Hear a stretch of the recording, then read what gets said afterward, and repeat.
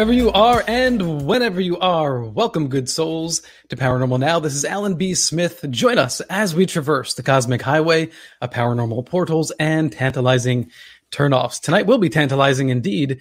Uh, we have our guest, Jim Willis, author and uh, ancient mysteries, ancient histories, metaphysical, spiritual researcher. Um, the checklist goes on, but we'll get to Jim in just a little bit. It'll be a really fascinating night tonight. I promise you that.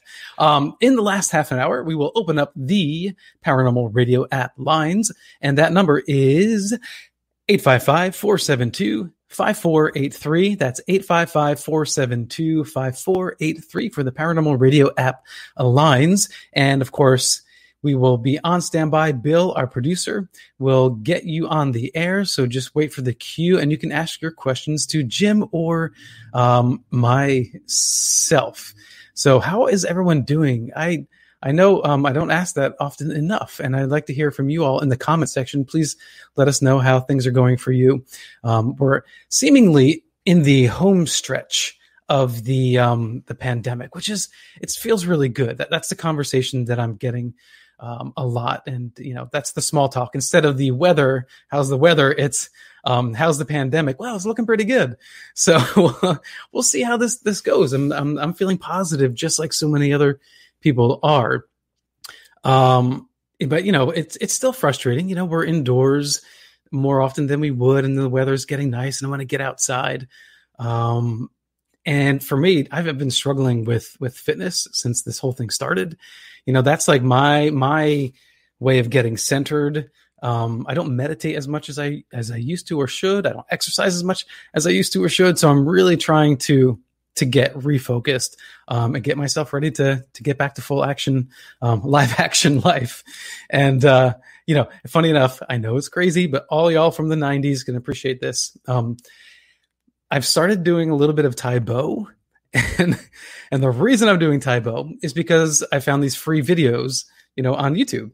And so instead of paying a gym membership, which, you know, it, it's just too expensive for the time that you can actually get in the gym, um, this has been my little cheat. So, you know, maybe if you're struggling, if you need to, a little uplifting in um, whether it's meditation, guided meditation, or some physical fitness or whatever it is. I mean, man, we are so lucky that during this time, this pandemic that we have the technology and the access that we have.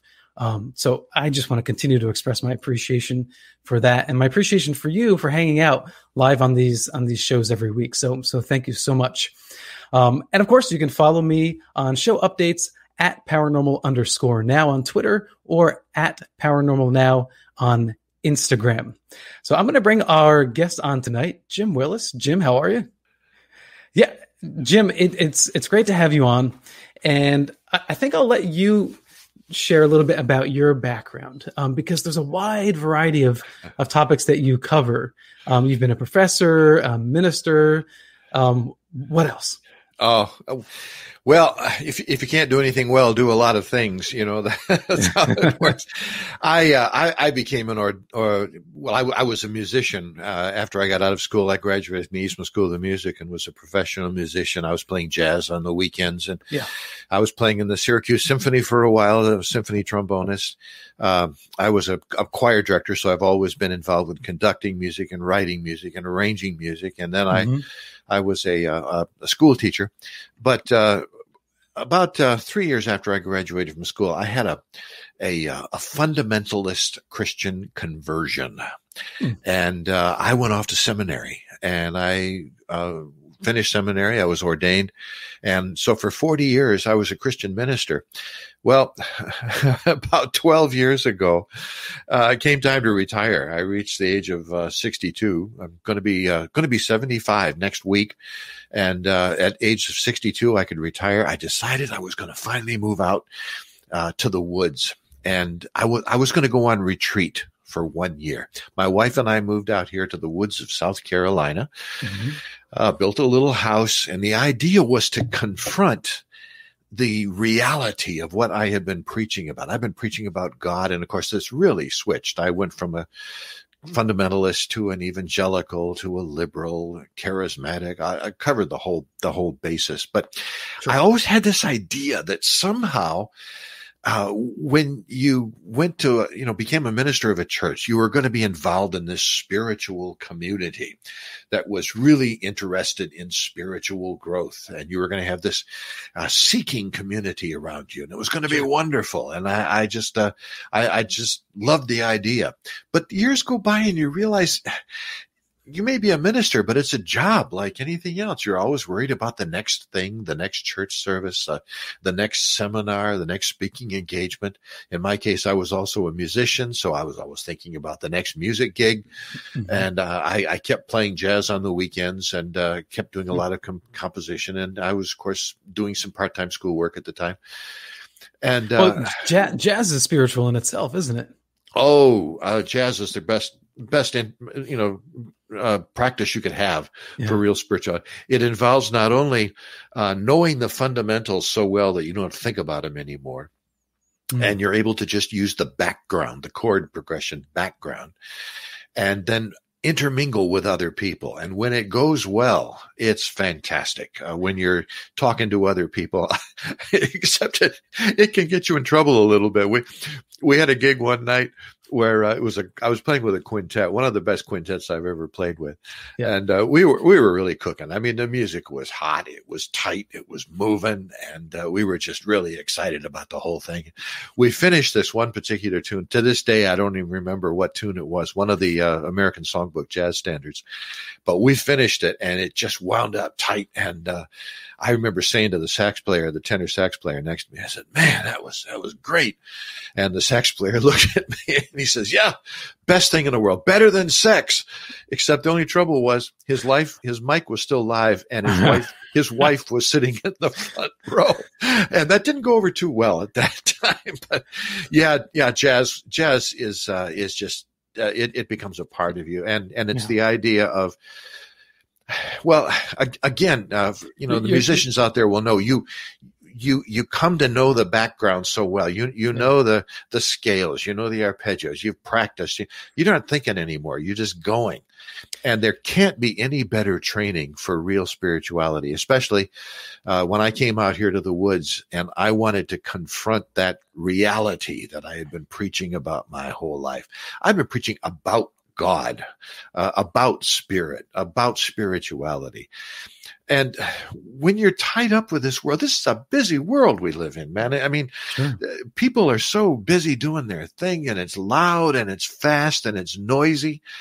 And you just don't have that same inherent spirituality that I think our ancestors had when they sat out around a fire at night and looked up and saw the sky and told yeah. stories rather than, uh, you know, getting so immersed in their cell phones or uh, smartphones and watching television instead of, you know, they communed with each other and all this mm-hmm. kind of thing. So when we came out here, uh, I came out here with a real with with frankly, I, I had a, a, a a prayer. I had a Bible verse in mind. Uh, the Bible verse that was in my mind comes from the Old Testament. The Old Testament uh, book of Genesis.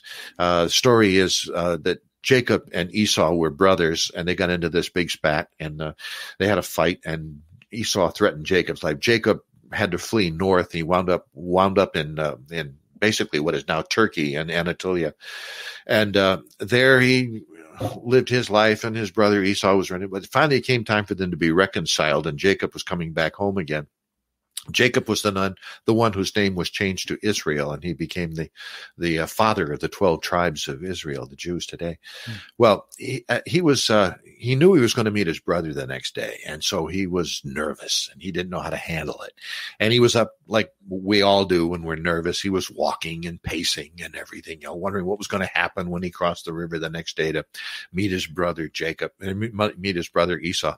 And the story is kind of crazy. It's in the book of Genesis. It's kind of a crazy story about how uh, all of a sudden uh, Jacob met this man and so they began to wrestle. Why? I don't know but they they they they started to wrestle and they wrestled all night. And somehow uh, you know of course you have to read the story as an allegory i think not as history but um, as as they as the sun started to break up over the horizon the next morning uh, jacob realized somehow that he was wrestling with god.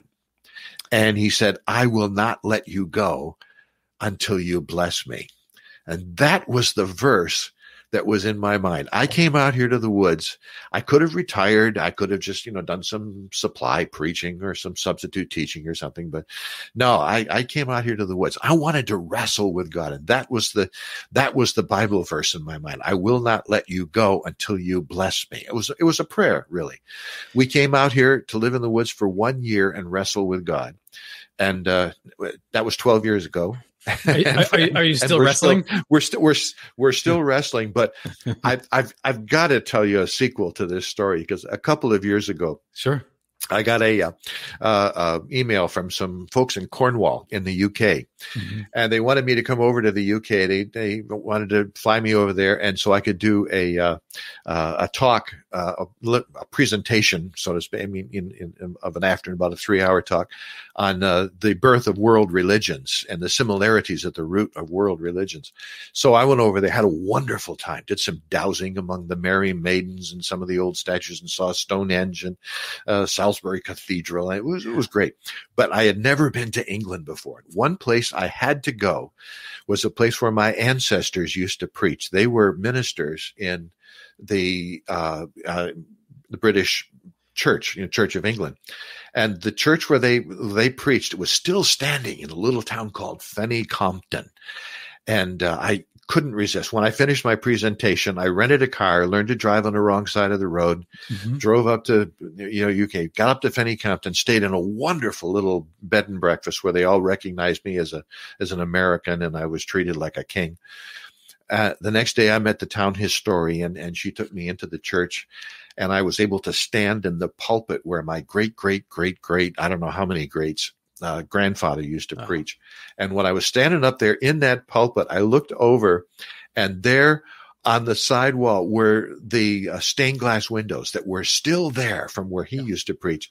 And one of the stained glass windows that you could only see from the pulpit was a stained glass uh, uh rendition of Jacob wrestling with ah. Esau, saying, I will not let you go until you bless me. Wrestling with God, rather, saying, I will not let you go until you bless me.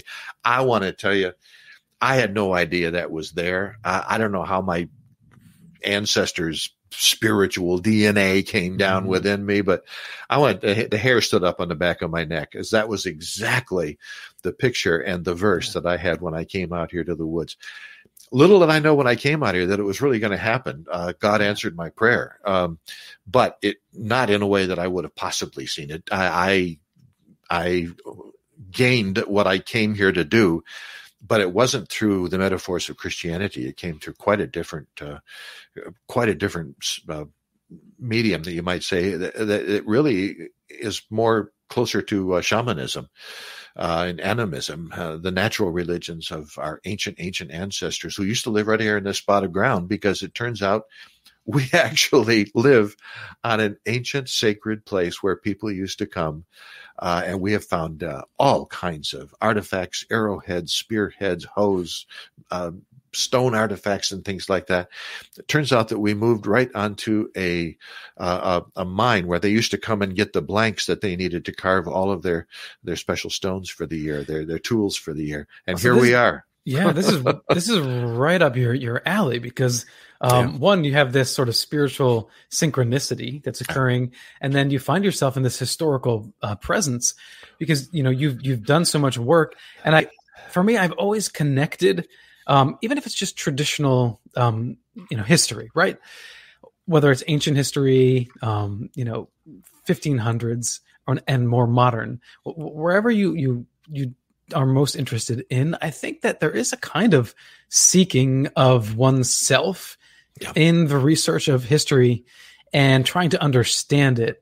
Uh, is it too much to say that that's a spiritual act, or, or what? How would you define that? Oh, I, I, I think it is a spiritual act. I'll, I'll, I'll, tell you, I had a I had a very good friend growing up whose uh, father died about two months before he was born in a tragic uh, car crash, and over the years he developed this uh, story of who his father was because, of course, he never met him and uh, he he got this story from friends and from stories that he picked up from family members and everything else. And and in as as the years went by, he had de- developed this whole idea of this picture of who his father was. Mm-hmm. Well, it turns out that uh, a couple of years ago, his mother was about to move away from the home where he was raised and where she had lived all of his life, and he went to help her move. So now he's an adult he went up to the attic to help. You know, you know how it can be when you live in a house for 50 years and you go up to the attic. You know what you're going to find. Well, he was kicking around here and there, and he found an old trunk. And when he opened it up, he discovered a series of journals that his father had written before he died.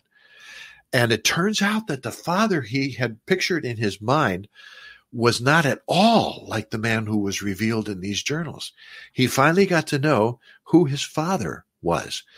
Well, when I came here, I couldn't help but keep that story in my mind because I think we as a human race have put together this idea of who our ancestors were. Yeah. And quite frankly, I think it's totally false. I think they were totally different than that.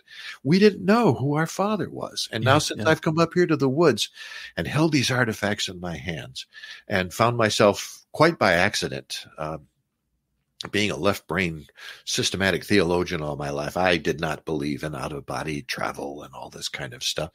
But when it began to happen to me, mm. um, all of a sudden everything changed. And, and I, I found out who my father was from the the uh, the journals, the spiritual journals that he she had left behind. Uh, and I think the human race is like that. I think Graham Hancock said it so well when he says we're a race with amnesia. Mm-hmm. I've really come to believe that we don't know who our ancestors really were. And because of that, we don't know who we are. And it's our loss. It's a spiritual journey then to study this and, and, and, and find out who they were.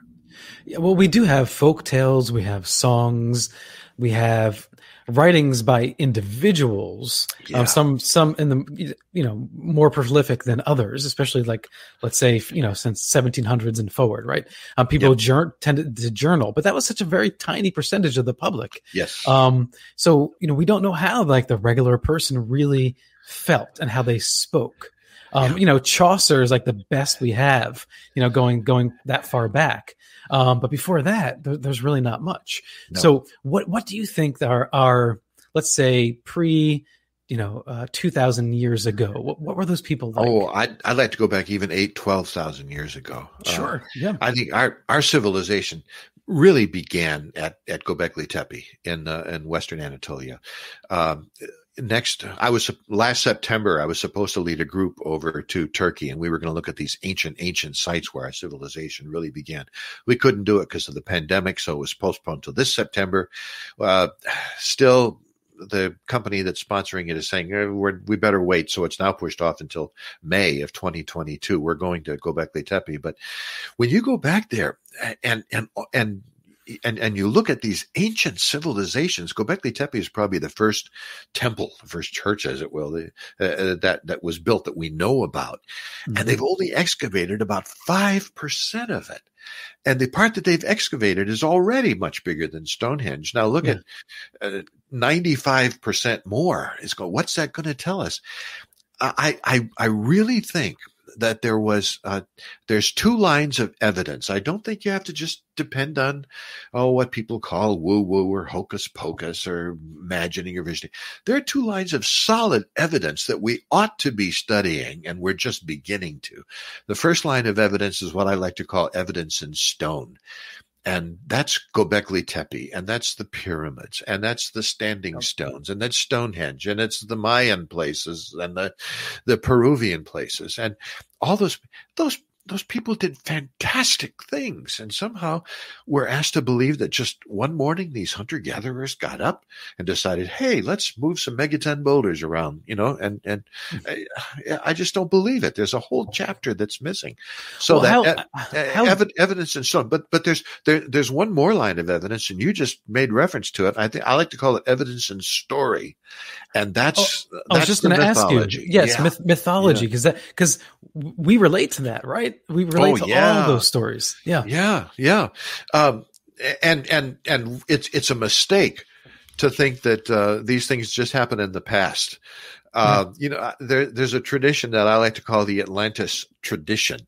Uh, some people believe it's it's actually uh, uh, a, a, true story of an ancient civilization that that was destroyed. That's what I happen to believe myself after mm-hmm. my study. Some people believe it's just an allegory, but whatever whatever you look at it, um, boy, how do you get more relevant than this? Uh, Plato in the uh, Timaeus, he said, for many generations the Atlanteans, they obeyed the laws and loved the divine to which they were akin. They reckoned that qualities of character were far more important than their present prosperity. So they bore the burden of their wealth and possessions lightly and did not let their high standard of living intoxicate them or make them lose their self control. Now, listen to what he said about them.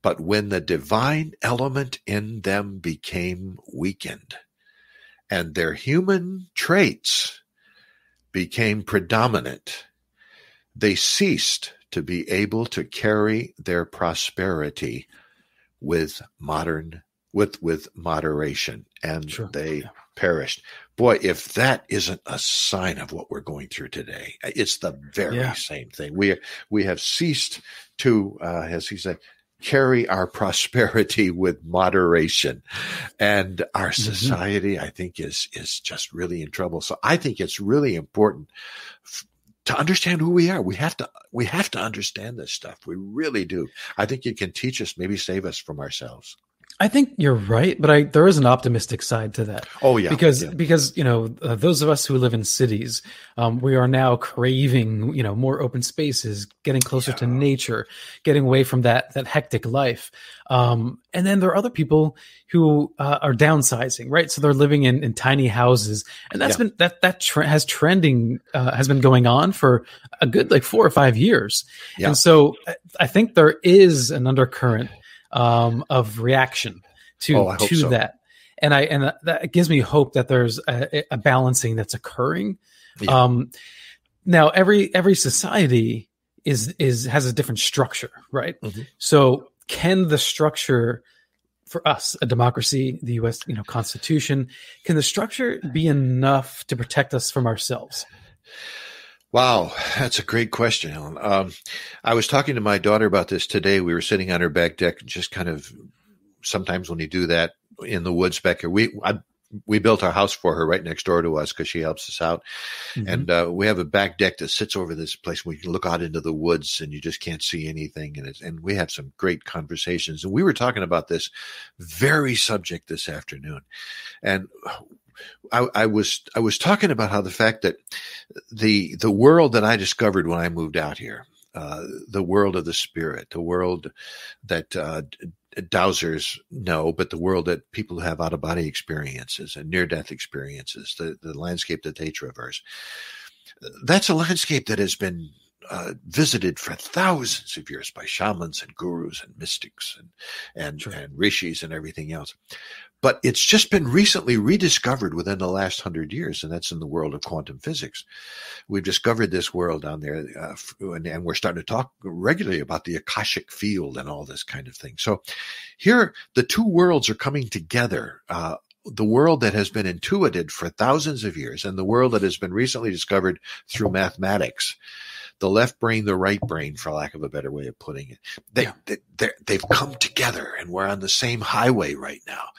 And so this is a hmm. pivotal time of human history. And I think, I think one of three things is going to happen. Uh, when we were talking about this this afternoon, Jan and I, I had only had two possibilities. Either we're going to go the way of spirituality, or we're going to go the way of the materialism.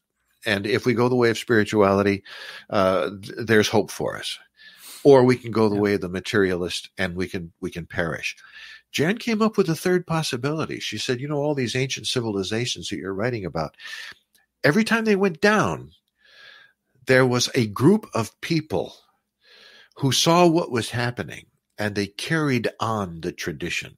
The Egyptians talk uh, of the Zep Tepi, the time, the, the birth of Egypt, the beginning of Egypt, when the seven sages came to Egypt from their land, which had uh, been inundated by the sea in the, in the Western Ocean. And these seven sages tried to carry on the good of their civilization and they and they realized there had been mistakes but they tried to carry on the good so we were saying today what if there is a group of us who is able to even in the midst of all the materialism and all the technology and all everything else what if there is a group of us that is able to survive whatever temporary classic uh, cataclysm might come. Even if we were to destroy ourselves with, let's picture the worst, a nuclear holocaust or a, a, a comet from space, which has happened before in the past and wiped out civilizations. Uh, uh, even if that worse were to happen, some of us would survive. And if we can keep the spirit alive, if if if we can like shows like yours if we can just talk about this stuff and and and and so when it comes there will be uh, a group of people who will carry on the best of us. I think it's happened over in time and time again in our in our history and i'll bet it's going to happen to us too yeah, and we'll keep the spirit alive when we come back from the other side of this first great uh, break. Thank you, Jim. I've really enjoyed our conversation so much so far, and um, I'm looking forward to the rest of the hour and a half we have with you tonight. Thank you all for joining us. Um, this is Paranormal Now on KGRA Radio, live Sundays, 8 to 10 p.m. Eastern Standard Time. I will see you all on the inverted flip side. And yes, I promise we will get to ancient aliens.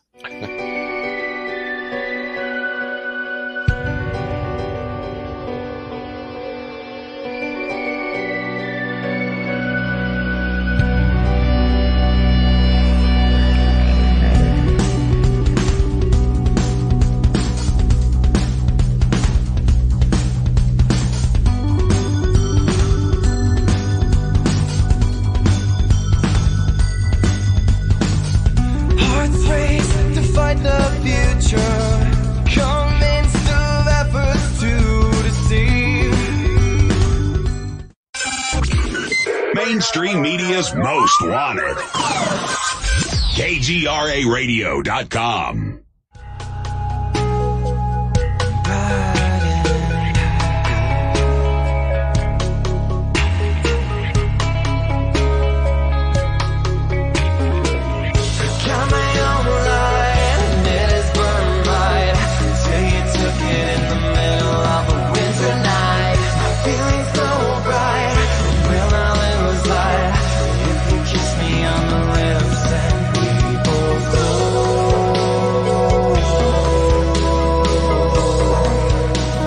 Welcome back to Paranormal Now. This is Alan B. Smith, your most grateful host. And taking us out of the break was music by Septembrio. That's Septembrio spelled with a Y dot com. If you'd like to go check out their music, they are available available wherever you download uh, your music. And uh, I have to be careful. Sometimes I'm singing along with the music, and I'm afraid we're going to come out of the break uh, blaring off key. Uh, anyway, so we're back with uh, Jim Willis. Jim, thanks so much for being with us tonight. Oh, great to be with you, Alan. Uh, so you know, let's continue on with with the the ancient history and the, the, the traditions that are sort of passed down, right, um, and kept alive, as you said.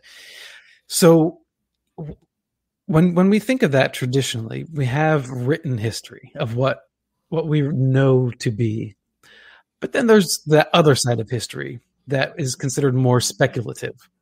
Um, you know, what why are you drawn to an alternative view of of history, the, the building of ancient pyramids and megaliths and um, and culture? What was your first clue that, that that something is being missed? I I I think I somehow always knew but covered it up. You know how we can do that sometimes? Turn, uh, turning a blind eye. Yeah, we just turned a blind eye to it. Um, things, for for instance, when I was a, a, a fundamentalist minister, uh, used to love Christmas and uh, fundamentalism and evangelicalism doesn't have a whole lot of room for, for instance, the paranormal, uh, because the paranormal, for instance, might talk about entities from another dimension who come over here and join with us, and that's that sounds too weird. So traditional Christianity says, "Ah, no, we don't do that." But then at Christmas time, we stand up and we sing. Hark the herald angels sing glory to the newborn king or or angels we have heard on high. What are those songs about? They're songs about entities from another dimension coming over here and sharing a message with us. Well, jim you're making it's, my yeah, you're making my argument for me because I because I always because so often people criticize you know the paranormal right all these things yeah. that we're talking about and it's like wait a minute you know this this religious paradigm has all these fantastical elements all of it yeah all of it when when I go back and read the Old Testament now about the obvious things that everyone knows about like Ezekiel and uh, Elijah mm-hmm. going the fiery chariot you know chariots sure. of the gods yeah. and all that kind of stuff it's all there what I didn't know at the time was what I didn't put together at the time was that Christianity is just one of the ancient traditions uh, that talks about these things. There, there's other a Hinduism, a Judaism, um, Muhammad talked about uh, an entity from another dimension that came over and dictated the Quran to him. His name was Gabriel. Gabriel also appears in the Jewish scriptures. He appeared to Daniel and gave him a message about the end times. He appears in the New Testament scriptures. This, this common entity from another dimension who steps through into our dimension. Uh, it's all there. And I think we've developed a bad habit, an intellectual habit. Mm-hmm. Uh, and that's that we, I mean, I, I revere science. I revere scientists and what they've done. Don't get me wrong. Nothing wrong with that at all. Sure. Yeah. But our whole scientific method is involved in measuring and in observing and in describing things that happen within this perception realm, within the realms that are here to our, our own senses. And our perception realm is a very, very narrow band. Uh, mm-hmm. Uh, even the look at light, for instance. We know there's light way that we, below where we can see and way above. Sound. I mean, I go out in the woods with my dog. My dog can hear things that I can't hear. Yeah. Uh, we we know that our perception realm is a very limited perception, but all of our science is dedicated around seeing those things which are within our perception realm, and that's what we call reality. Right. And I think the truth is it may be our reality, it may be the reality we live in, but quantum physics has taught us beyond a shadow of a doubt that the reality that we live in is only a very small percentage of the total reality that we're simply not aware of. Yeah. Uh, well, there's a difference, right? Because quantum physics or physics have, have proven that, you know, life, life is just mysterious, right? There, there's like the light itself is actually understandable to a degree. Whereas before it was just this, you know, a magical thing.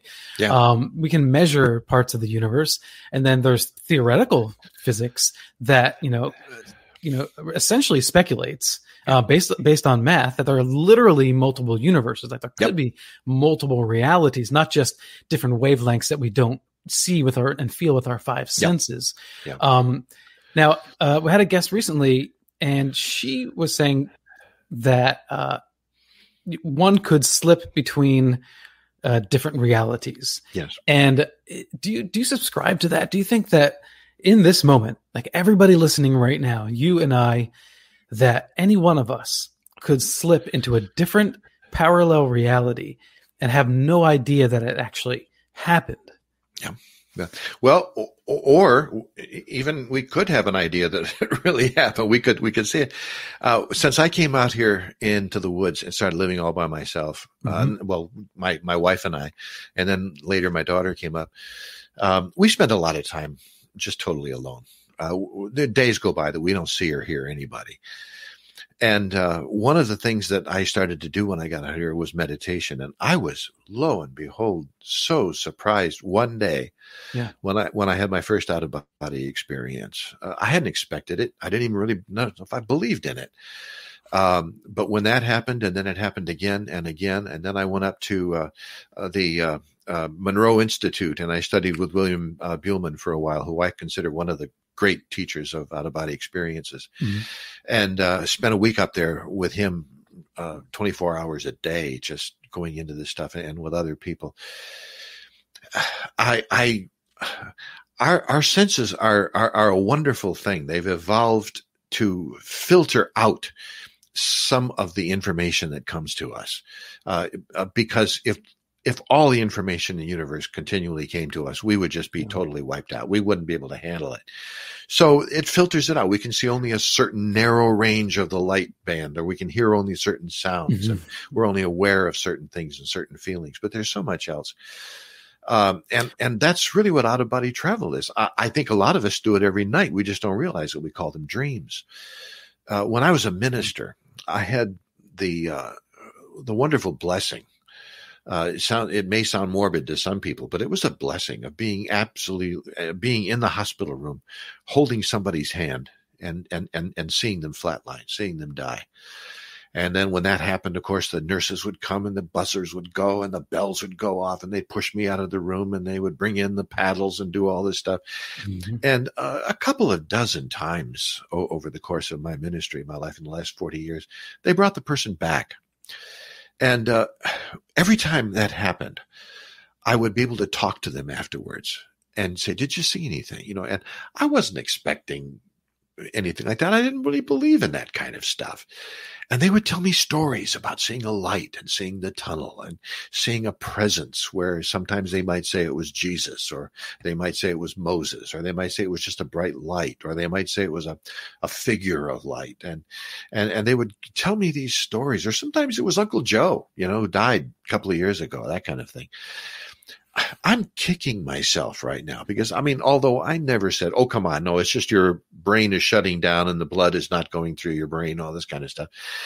I never said that, of course, but that's basically what I was thinking. Now I'm wondering if I had been open, if I had taken the, eh, gotten rid of the ego and the hubris, and really listened to these people and heard what they had to say. Yeah. Now I can recall it in vivid detail. I think I would have learned so much from these people. Sure. And when I had my first out of body experience, and I would come back and try to explain. Of course, if you write books, if you're an author, the trouble that's the trouble. You're going to a place that's beyond language. Language was invented to describe things within this perception realm. Yeah. Yeah. So now you go out of this perception realm, and all of a sudden, your your body is in effect asleep, but your mind is fully awake, and you're seeing things that you've never seen before. You're experiencing things. You're getting teachings that have come down to you mm-hmm. into these big blocks of teachings that are just coming, not verbal. Uh, the hard way way we do it, Yeah. and and it's so real and it's so vivid. And since then, I've talked to literally hundreds of people who have had out of body experiences, and I've read even more, and they all say the same thing. It's more real there than it is here.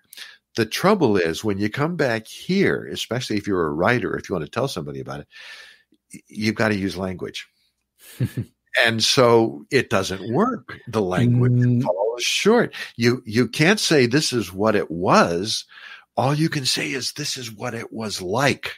sure. Sure. And so you come up with all these fantastic descriptions of hybrid creatures with birds' heads and wings, but human Yeah. bodies. And it, it- it's not that that's actually what it was. It's just that's the closest you can come to describe it. Well, I think and- that that's a good point. It's kind of like when you, even just a dream, right? Sometimes you wake up Oh, from a dream yeah, and you try to explain the dream to somebody. Um, you know, there's an an abstract element to it, so it's hard to really put you know uh, words and you know in a way that describes it accurately. But it does. It seems like on the evolutionary scale that verbal auditory language is um, not the highest level, right? Like there, there's room because obviously light at the speed of light is faster than the speed of sound, so that's a more efficient way of communication. If if we could use um, you know brain waves or energy waves that would communicate in that way, and then you would get more details without having to take the time to structure something together. And I, I remember Terence McKenna would speak about this. I don't know if you're familiar with him, but Yes. um, yes. he was, yeah, okay. So he was a bit of a psychedelic um, explorer, and you know he would describe these encounters when he was on uh, dimethyltryptamine with these like elf-like beings, and they would kind of communicate with him using what like these jeweled kind of things that would just kind of like bounce or move towards him, and it's like he knows that they're trying to speak to him, he just doesn't understand it. yeah. Um, Yeah. And so all these alternate um, states of mind, people come back from those with with with similar, maybe not exact, but similar experiences where it's the intangible, and yet, like you said, it feels more real. Yeah, yeah, yeah. yeah how do you? I mean, and we've invented poetry and music, for instance, to try to say something that words just don't make. Yeah, you know, yeah. words don't do it. Uh, I studied uh, Johann Sebastian Bach when I was in school. We, for two years, we just studied the music of Bach, and I learned all the rules and everything else. And I followed all of his rules. My music still didn't sound like his, but when when I listen to music today. Mm-hmm.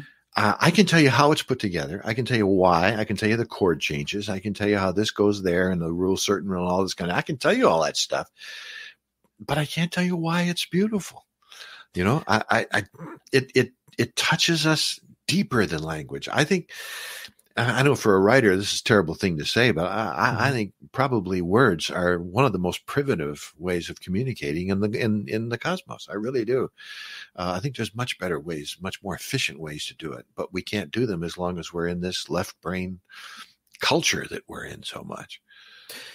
When people have encounters with extraterrestrials, they often describe a tele, you know, telepathic communication, mm-hmm. um, but often it's described in terms of of imagery, right? Not not a language per se that they're receiving in their in their mind. Yeah. Uh, have Have you heard of this? And uh, well, I guess two part question. One, do you think extraterrestrials are visiting Earth?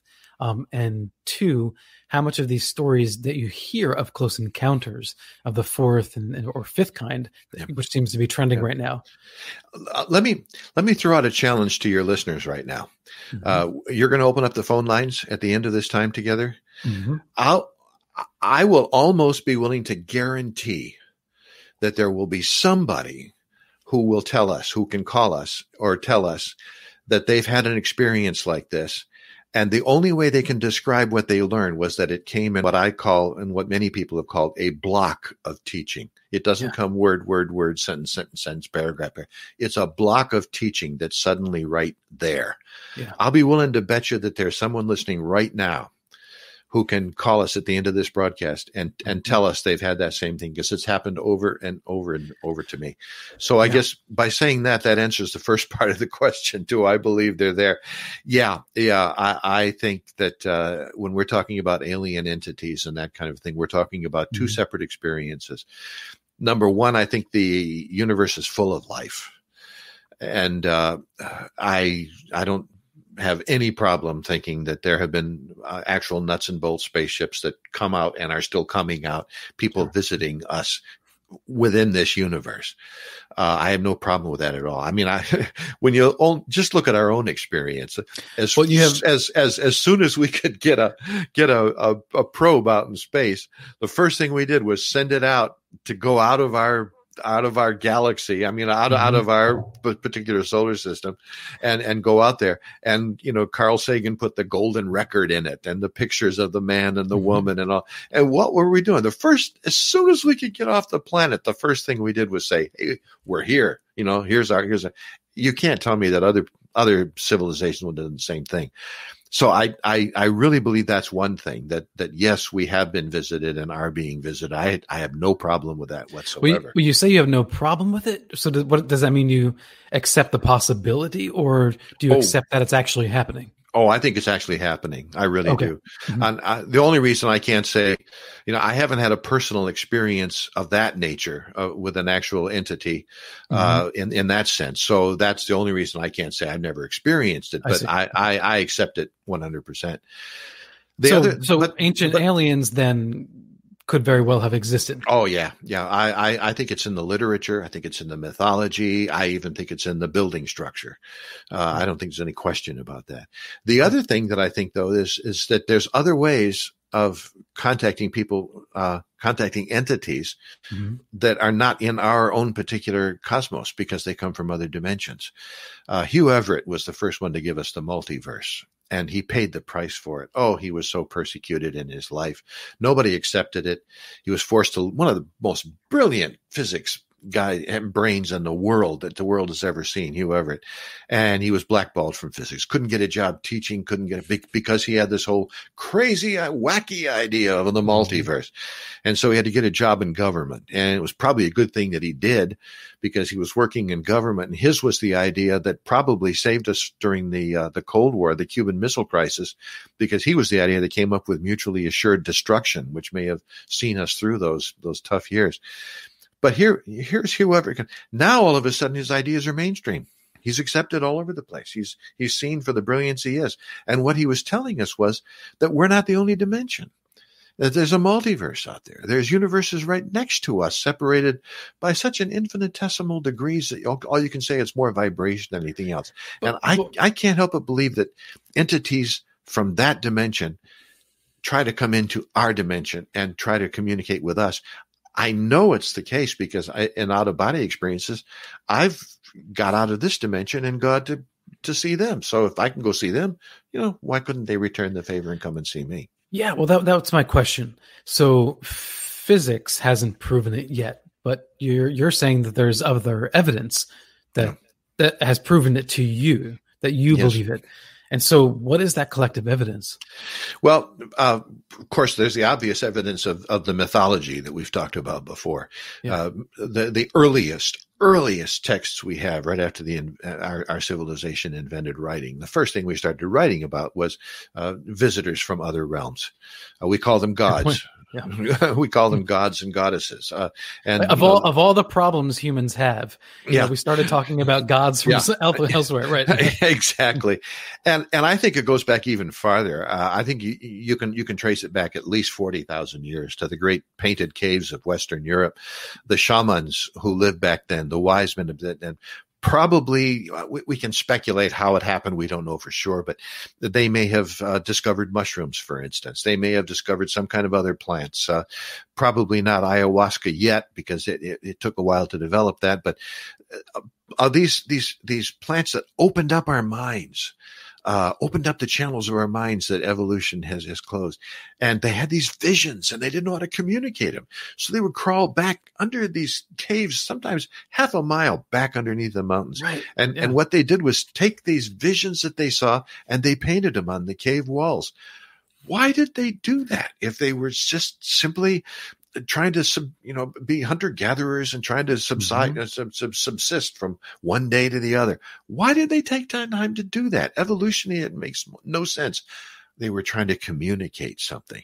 And i think their communication was probably the first communication that we know about that showed that they were in touch with these with these other entities. And as I said earlier, every religion of the world is yeah. full of these kinds of stories. So I no, I, I, I don't I don't have any doubts at all that uh, it's much bigger.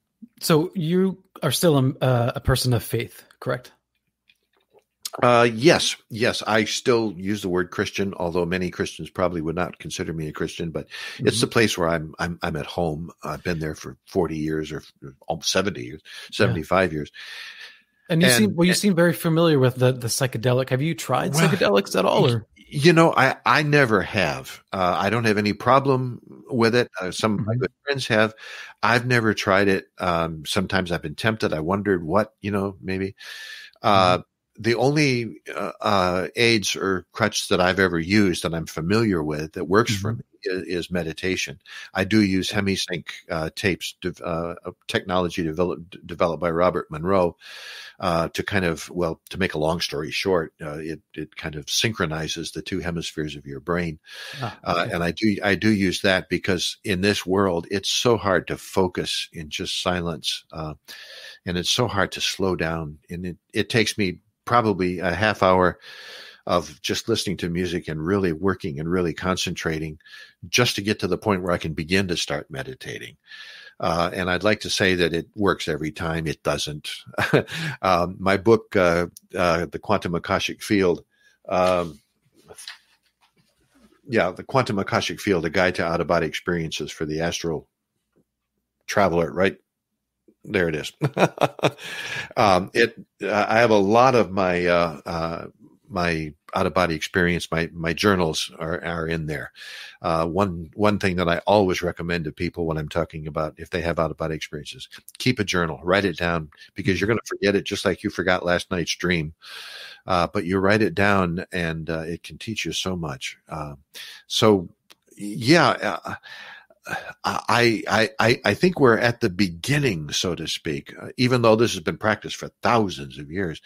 I think we're at the beginning of our first real scientific structure because I think we make a mistake when we say paranormal is not scientific, when we say supernatural is not scientific. Mm-hmm. Um, I think it's all scientific. I, I, it, it all th- there's science behind all of it. There's reality behind all of it. It's just science that we don't understand yet. You remember Arthur C. Clarke once said that uh, any magic, eh, any technology that's far enough advanced is going to be considered magic. Yeah. Well, uh, that's what it is with us. I, I don't think the paranormal is. Uh, um, is not scientific. I, I, think it's just a science that we don't understand. And the same well, thing with the supernatural.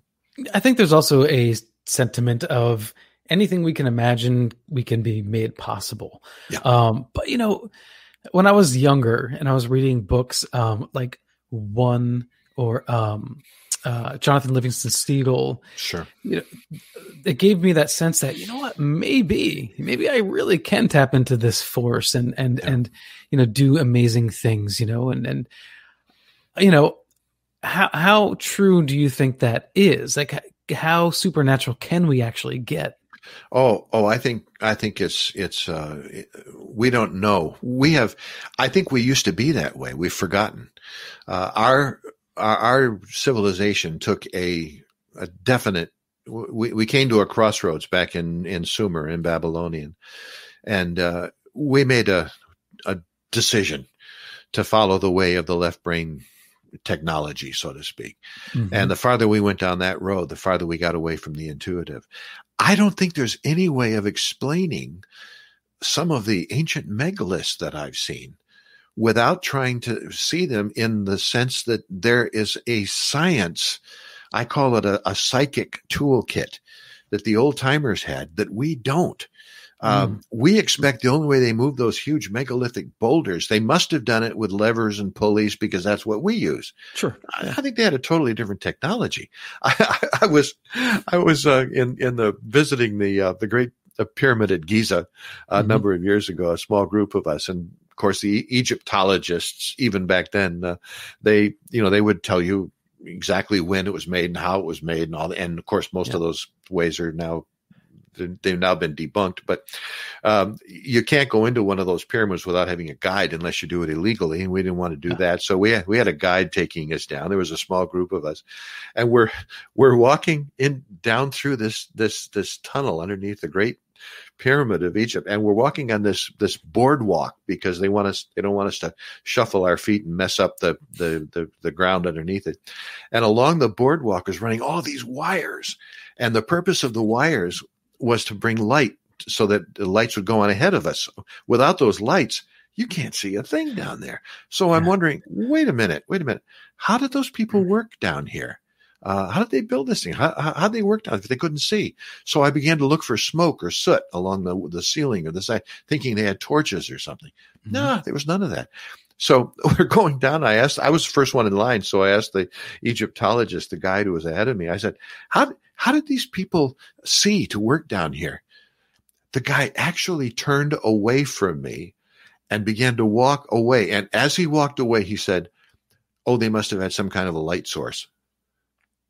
That was his. That was his explanation. Some well, kind of a light source.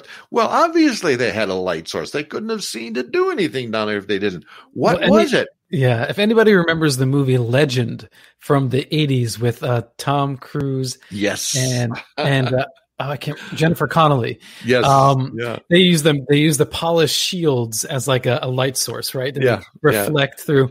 But you know that doesn't. That's not going to go the depths no, of, no, it wouldn't. what the pyramids are. Yeah, they uh, they they've tried that. It doesn't work. it, it, doesn't work, right? No. So okay, it's I mean it's a good idea, and we're creative people. So we are trying to, to crack that nut. But you think that, you know, maybe you, you, you have an alternative to that. And we'll find out more about that when we get back on the other side of this break. Thank you all for joining us tonight on Paranormal Now. This is Alan B. Smith on KGRA Radio Live. If you want to find out more about this program and others, go to kgradb.com. All right. I will see you on the flip side. I try to capture how I feel and tell you the whole truth, but there's too much to be said, so I just leave you small clues. But now I'm bearing my soul and my soul of souls.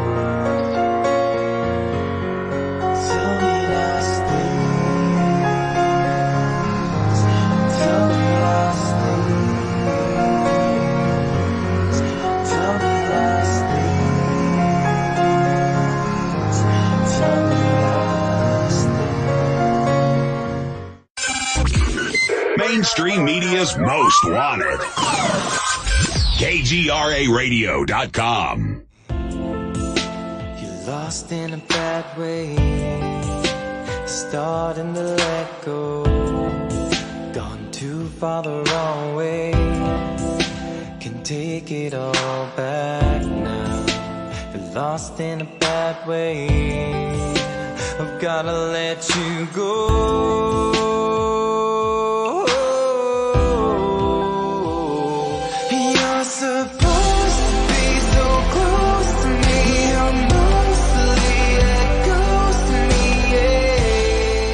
Welcome back to Paranormal Now. This is Alan B. Smith. Thank you for hanging with us tonight. Taking us out of the break was music by Septembrio. If you want to find out more about them, please go check out septembrio.com. And yeah, so earlier Jim had mentioned stories of the afterlife or contact with ETs. And if you do have a story that you want to tell, in the last 30 minutes, we will open up the Paranormal Radio app line, and that number is 855 472 5483 or 85 KGRA live. So call in in the last 30 minutes. We'll open up the phone lines and our producer, Bill Skywatcher, will get you on. Um, he's one of the nicest and the best producers out there. And um, we look forward to hearing what you have to say and, and your fascinating story. Because I think most of us have had some some odd experience or contact in our lives. It's just that a lot of us don't talk about it um, live on YouTube or on on online radio. Uh, so, so Jim, you know, when did you get to the point where you felt comfortable talking about these kinds of subjects? Oh, you know, Alan, I'm not even sure. Um, I never used to be. When before I retired, uh, I, I would have the occasional discussion or something. But Mhm. when I came out here, I just started to write books, and I said to myself, I want to write the books that I want to write, uh, and I don't care if anybody's ever going to read them or not. And uh, it just uh, started to develop, and and the more I began to meditate, the more I began to have these experiences myself, the more comfortable I felt about it. And I found myself saying, well, wait a minute. I, so many of us live our lives trying to please other folks. And as a result, we never find out who we are. And I didn't want that to happen to me. And uh, if I had an experience, I wanted to talk about it. And so I, I would write a book and, and then somebody would call me up and they say, let's talk about it. And um, one thing led to another. I found myself talking to George Noory at uh, two o'clock in the morning, uh, our our time because he's out in California. And I'm sitting Yep. out the porch, and uh, it's it's pitch dark, and it's two o'clock in the morning, and I'm hearing these people call in live and and telling their stories. And uh, I found myself just having experience after experience.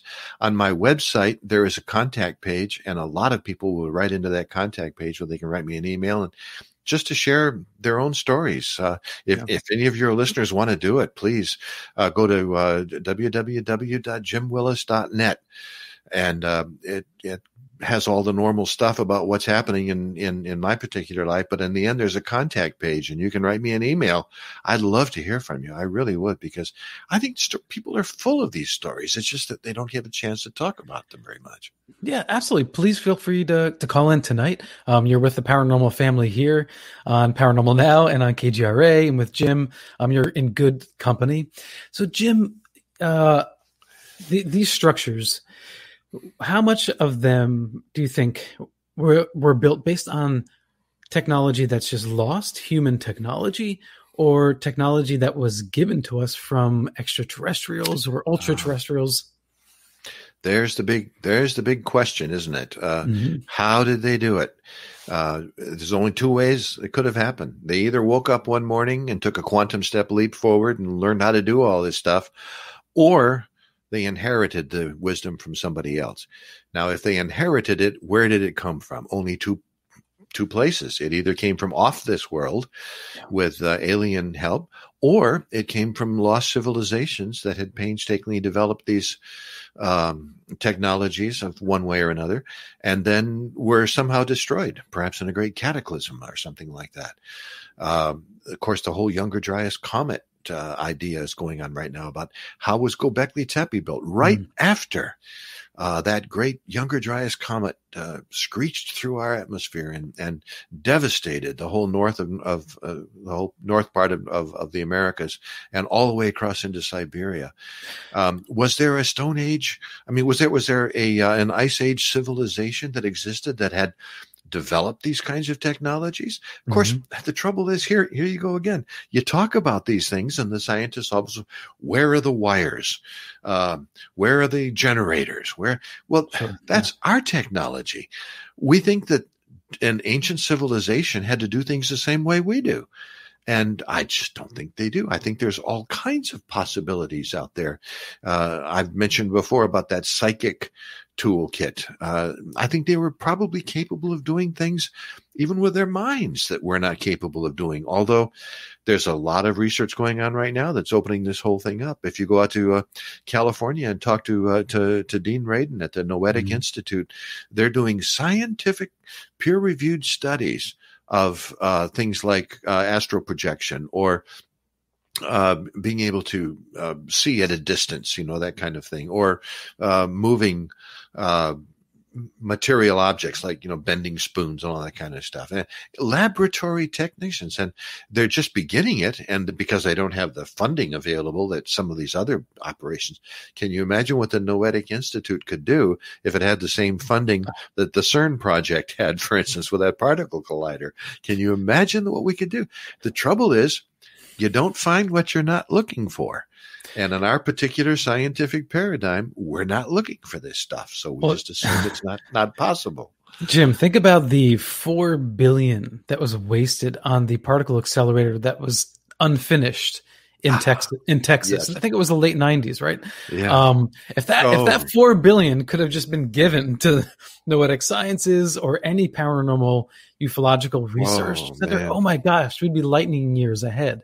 Yeah. Um, yeah. So the pyramids, when we look at those, do they have any other function other than uh, a, a, celebration of the greatness of the gods, or what? What are oh. they? I a, a simple answer is I'm sure they do. I don't know what it is. There's lots of possibilities, but you just simply cannot build those things which are so mathematically uh, precise and so tough. I mean, I, I, read ever since I wrote about ancient uh, uh, ancient civilizations, and I wrote about my own experiences with the pyramids. I've read so many ideas about oh, everybody knows how they built them. They just did this or that.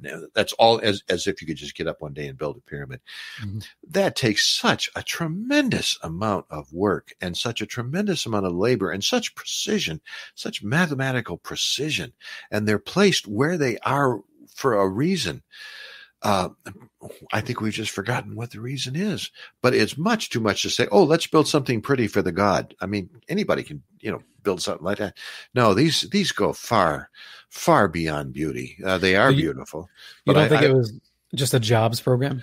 No, no, I, I really don't. I, I, I think there was an actual function for it, and we find it in the mythology, but the mythology is not permitted in the scientific laboratory. We can't talk about Mm. uh, the, the mythology, but uh, there's just all kinds of of uh, reasons. I think that we could, you know. But the typical thing is, according to the Egyptologists, they are tombs and tombs only. That's what they're called. Never found a body in one, but they're tombs. Uh, why don't we find a body? Well, somebody must have robbed the body. How? Well, we don't know, but it must have happened because they're tombs and tombs only. You just Mhm. can't get past that. That's not scientific thinking. It's not logical. Uh, but that's the world Well, we live in. Yeah, I think the way to best illustrate this kind of, you know, unfortunate uh, closed-mindedness, I guess, in the scientific community, the Oumuamua object, right? And I've talked about Oh, this on the show quite a bit. Yeah. Um, Avi Loeb, Harvard um, astrophysics professor, uh, you know, he he's made an argument. He's put himself out there and said, any way we look at this thing, it, it just can't be natural. Um, and it seemed like he had the upper hand of the argument as of late. But then a couple of days ago, an article dropped, and I saw people making YouTube videos about it saying, oh no, we've explained it now. But then hmm. when you keep reading, they're like, well, we can explain this aspect of it, right? And the argument Avi was saying is like, you can come up with a theory to try to explain one aspect, but there are like five different aspects Yeah. that don't that when you add them up, it's literally impossible. On on on their own, it could work. You can explain Mhm. away something, but together, it's literally impossible. Now, Yeah. is it literally impossible? I, I don't know, but that's the argument he's making, and yet the scientific community is still making, I guess, an ad hoc argument. Um, because they just can't accept that, you know, it's it could be an extraterrestrial Yeah. object. Yeah, you know? yeah. Well, yeah, and and it's the same thing with go back to the pyramids again. Mhm. When you actually go there and see those massive blocks, even if you say, "Yeah, we can build a ramp," yeah, we can build hundreds of people in, yeah, Mhm. we can get, you know, we can put down uh, water or something or oil or some kind of grease on the thing and get them up there. Okay. Suppose you can build a ramp, even though there's no evidence of a ramp being built. Sure. Suppose you can get enough people. Suppose you can get the rock up there. Mhm. Here are these massive rocks. And when you realize these rocks, you can't even fit a piece of paper in between them. Now, suppose you get the block up there and you finally dump it off. You're still going to be like maybe what, six inches even away from the next rock. You can't get enough people to stand around that rock to develop enough muscle power Yeah. to wiggle that rock back and forth. There's not enough room to get enough hands on the rock to push it. If if you've got to push it that last six inches, you just can't do it. And that seems perfectly logical when you're there, but you come up with all of these silly ideas that people come up with. And and what gets me is human hubris again. Everybody who comes up with some of these ideas, they present it as if this is all they had to do. And all I can say is, yeah, well, you find a reason to get maybe a couple hundred of your best friends together and build Mhm. a pyramid and keep them there, keep them motivated, keep them fed, keep them, you know, and, and give them all the materials they need to do it. And, uh, and what's going to motivate them? Yeah. What is going to keep them there doing it? Unless they have a good reason. There's Jim, how no reason for them to do it. how familiar are you with Machu Picchu?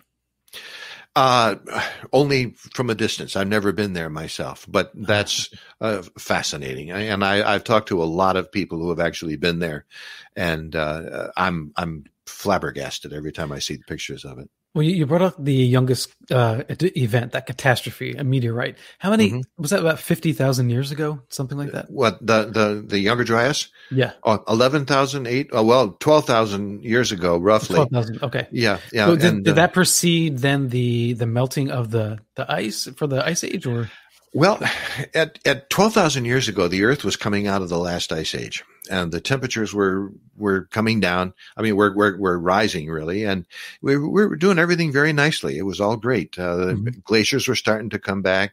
We were starting to move out. Then, about twelve thousand years ago, um, and and this is by no means a unanimous thing. There's a lot of people who were saying no, it wasn't a comet, but it. I'm I, the, all the evidence that I've seen so probably says comet. A comet hit the Earth and the Earth suddenly, almost overnight, went right back into another ice age that lasted for 1,800 years. Yeah. And about 11,800 years ago, 11,600 years ago, we began to move out of it again. We began to re- re- get e- equilibrium. And that was when the uh, glaciers began to melt. Uh, there was huge uh, pulses in the North Atlantic as these great uh, ice, you know, uh, ice blocks would would calve off, and mm-hmm. uh, water levels rose all over the place, inundating a lot of of uh, ancient archaeology that's right now underneath the ocean. You can find it in Egypt, you can find it in Indonesia, you can find it in Siberia. I mean, I mean off the coast of uh, in, in, the Black Sea, for instance, you can find uh, no question about it. These places were there and they were drowned. They're now underwater. So the, there was a tremendous rise, and that probably gave birth to a lot of the flood stories and all kind of. Certainly, that was, and that was precisely the time uh, 11,800 years ago that that uh, Plato placed the um, story of Atlantis. He even came out and said exactly how many years ago it was, mm-hmm. based on his ancestor Solon and, and how long ago that happened, what the Egyptians believed. So it was it was a tremendous change in the earth. We haven't when recovered. The, when that meteorite exploded, um, what does that look like? Is it a, flash of light? Does it reach well, thousands of miles? It was it was probably a comet, and uh, it, it it was it was uh, a, probably a comet that was part of the same uh, belt that we go through uh, twice a year. John Denver wrote about it when he said he got his Rocky Mountain high, and I saw it raining fire in the sky. When we go out and sit in the backyard and watch the the uh, the shooting stars and all that kind of stuff, is it that, was probably the, the Perseids. Yeah, that's right. Okay. And and and uh, it, it, it's a it's a great cloud of, of, that we go through twice a year. It's it, we're it's it's like a big donut, and the Earth goes through this donut once in the fall and once in the spring. And uh, it it goes through one side in the fall and another in the spring. And usually, what we see is just the little little things that hit our atmosphere and burn up because of the friction. Yeah but probably the comet that hit then uh, that hit us back 12,000 or 11,800 years ago probably segmented and it probably hit in a series at least four maybe six of them hit right across the top of north america yeah. put all kinds of geological uh, things in place one big portion of it that landed probably right uh, in Saginaw Bay, the thumb of Michigan, uh, when you when you mm-hmm. look at it, uh, right in there, it just spewed these these uh, uh, ice rocks and, and, and, and, frozen rocks up into the atmosphere. And they came crashing down here in, in South Carolina and formed what we call the Carolina Bays right in my hometown. Now, if that happened 11,800 years ago, there were people living here who saw that and they had stories that they passed down about it. Uh, others, uh, other parts of this comet hit all the way across Siberia, some in uh, uh, in Anatolia, or what is present day Turkey, all mm-hmm. the way across Siberia. You can trace the this this thing, and it was just like well, remember uh, a number of years ago when we saw the comet that hit Jupiter and it segmented and mm-hmm. we could see the impacts here through our, our telescopes here. Sure. Yeah. It was probably something like that. Now it didn't destroy all, all life on earth, but it did destroy the, a great civilization that existed probably because this civilization existed on the waterfront. It was a seafaring civilization, and when the water level grows, grew, you know, grew and mm-hmm. and and and rose so quickly, this civilization was pretty much destroyed. And so they would go out to these places. They would go out to Baalbek in Lebanon, and they would go out to Anatolia and to Egypt and uh, to Mesopotamia, and I mean, and then they would they would go out probably the other way to uh, to Central America and to Peru, and uh, probably in an attempt to rebuild the civilization that had been destroyed. Now, I'm not saying this is a fantastic civilization with crystals and all this Wonder Woman stuff, you know, but it was probably a, a seafaring civilization that was yeah. Uh, probably close to what was happening when Columbus discovered America. Is this Atlantis or Lemuria? I, I think Atlantis probably was that maybe the home home base, uh, the the Washington D.C., the capital city of that particular civilization. And I think from following Plato's arguments, we can probably place it, uh, oh, in the the whole Bahama, Cuban, Caribbean chain, uh, which is now underwater. Um, So you don't think the Minoans were the Atlanteans? Could very well have been. Uh, Ah, I mean, it, I probably all connected. I, a civilization is just usually not put in one place. Mhm. Uh, it's put. I mean, and certainly it would have had an effect on that. Uh, I don't think the Minoans would have been the the the central part of it uh, because uh, it doesn't seem to fit Plato's uh, directions. He puts us out into the Atlantic rather than in Yeah. the Mediterranean. But it was could have very well been part of the same thing. So maybe the Azores or something like that. But Yeah, then, yeah. like you said, it's a if it's a seafaring, uh, we, we know that you know uh, people reached um, Europeans came over to, to North America. We like Sure. way before Columbus. Oh yeah, yeah. And and and likely, if if they were a seafaring people, you know, even lo- further back than we even realize. oh yeah. Um, and so what you're saying is it, it's feasible, you think, that an entire civilization was could be have been wiped out by this event. Yeah, yeah, and it left survivors, of course, but uh, those survivors were not able to, to. They could tell stories about what it was like. Think of it this way: if if if this were to happen to the Earth today, and it were to wipe out our infrastructure, and it were a, a, a big six mile wide comet or asteroid, say that uh, like the one that wiped out the dinosaurs when it landed in the Yucatan. If that were to hit today and totally wipe out our civilization, there's and some of us, let's say, survive. And we go down to places that we're not affected that much by. it. We go down to the rainforest. We go down to the Amazon. We go down into Africa, and we we tell the people uh, what it was like in this civilization. Now, you Mhm. and I couldn't build an airplane because we don't have the technology. We don't have the stuff to do it. But we could tell the people about what an airplane was Mhm. and we could tell the people how it could fly. You and I couldn't build a television, but we could say, wow, there was a time in our civilization when we could sit and look in a box and see what was happening on the other side of the world. Yeah, yeah. Now, the strange thing is that in the Popol Vuh and, and in the, uh, the, the Mayan uh, religious texts, it describes exactly this happening. The people who came and taught those people how the arts of civilization, as they say, yeah they yeah. said they could sit down and they could see what was happening all over the world.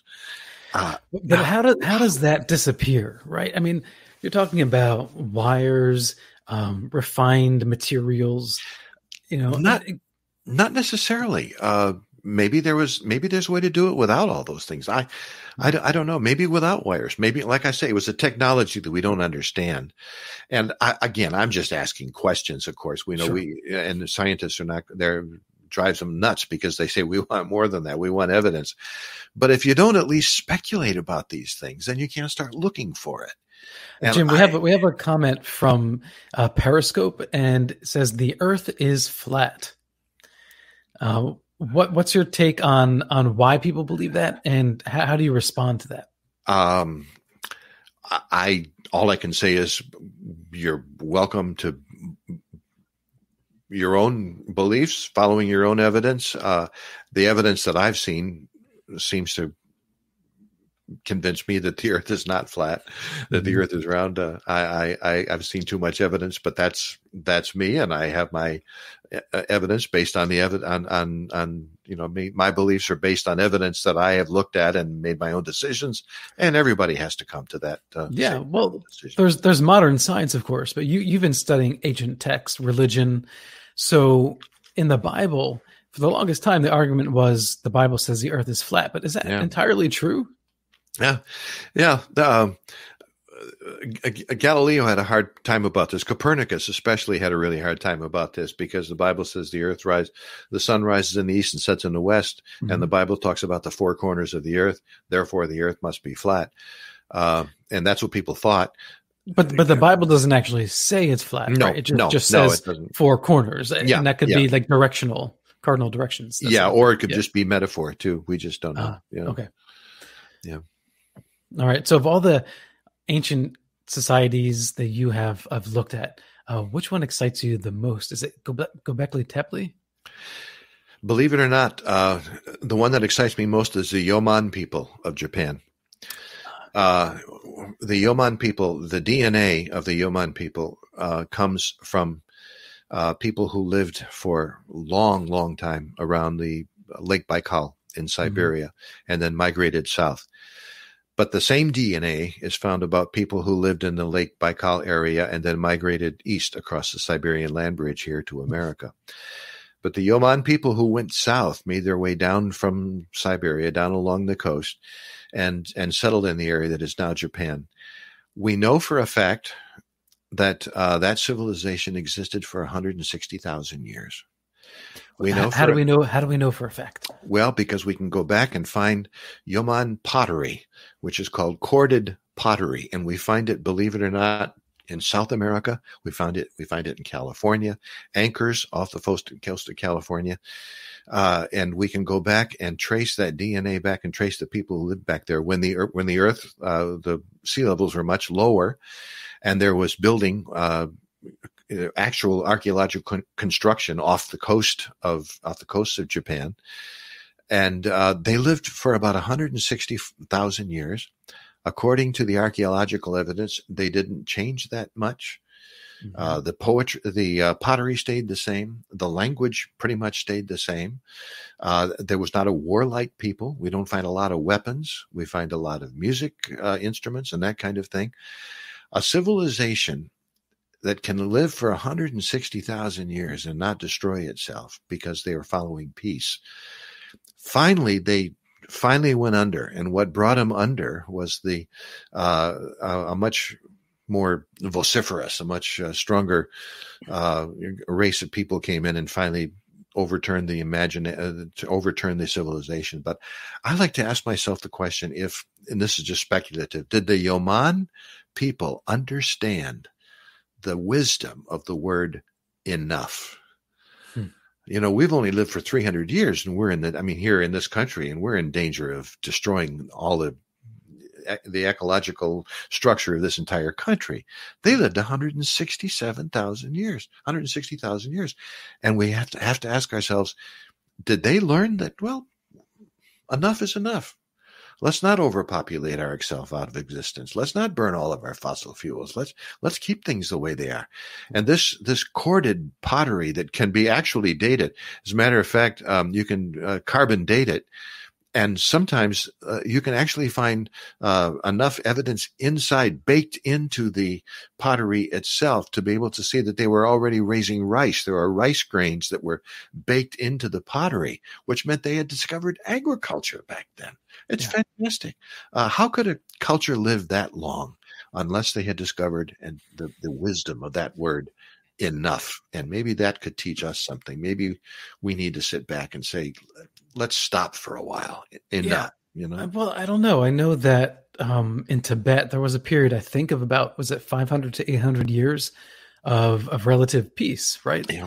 and i and i think it just takes a shared uh, system of belief yeah. but but not just a system of belief and I, I think that that so much of our modern belief systems or what are passed down from ancient systems are this is how you should live mm-hmm. but they don't actually give you steps um direction right like this, this is how you sh- can practice this is how you can improve your mind yeah. um it's it's often be this you know be good to other people yeah. Uh, behave yeah. in this way but if you are disturbed how do you how do you get to that place? You know you, you, that's why thankfully now we have therapy and, and psychology.